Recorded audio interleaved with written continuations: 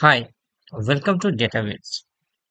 In this short video, we will learn about how to create a radar chart. Radar chart is also known as wave chart, which you can see in this image. It is a very special kind of uh, chart where we are comparing different parameters with different variables. We can create some other chart also like line chart or bar chart, but the comparison would not be easy. So In the very first part, we will first learn how to create a radar chart in Excel. Then after we will learn how to read it. So let us go to our next sheet where we have data. So first learn, understand what this data is. So we have data for few students and their marks in different subjects. So we wanted to compare that how John is performing in different subjects. So let us first create the radar chart. So first we will go the in insert tab and here we will go in this insert waterfall funnel stock or radar chart. We can see here three different kind of radar charts. One is a normal one, second is with the marker and the third one is with the category which is you know shadow one. This the third one is the shadow one. So we will first use our the simple one. So here we have our chart or graph you can say.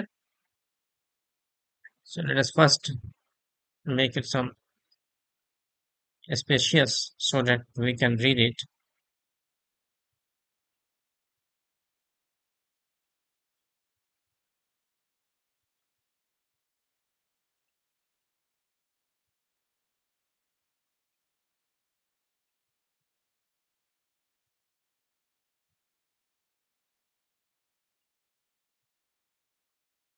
So now you can see that we get something like wave type of chart here.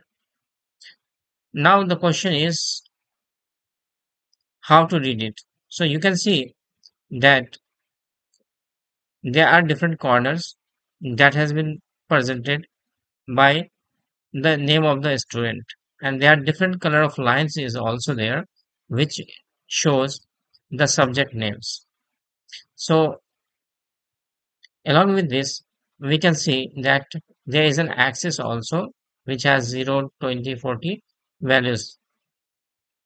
And the same values goes for every corner means every parameter.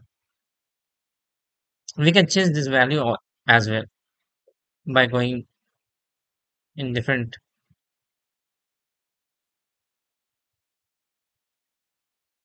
here we can change this value by 20 or 10 30 whatever we wanted to change. Like this. So we can see that we have 0 to maximum 90 or 100 value is there. So here sheen we can see the sheen. Sheen has the highest marks in chemistry then approximately similar marks in biology and english. Along with the other subject like physics. Same goes for rosie. The comparison is very much easy. We can see the comparison is here that the highest marks is in chemistry, then English, then biology, and then the least marks in physics. So this wave chart, or we can say radar chart, is for the comparison of these uh, values, and it make makes us very easy to understand when we are using this radar chart. Even if we wanted to see who has the highest marks in physics or how people are performing in physics, we can change the axis as well. To change the axis, we go to the select data and switch rows to columns. And then OK. Now we can see in English, Gia has the highest marks than Rosie.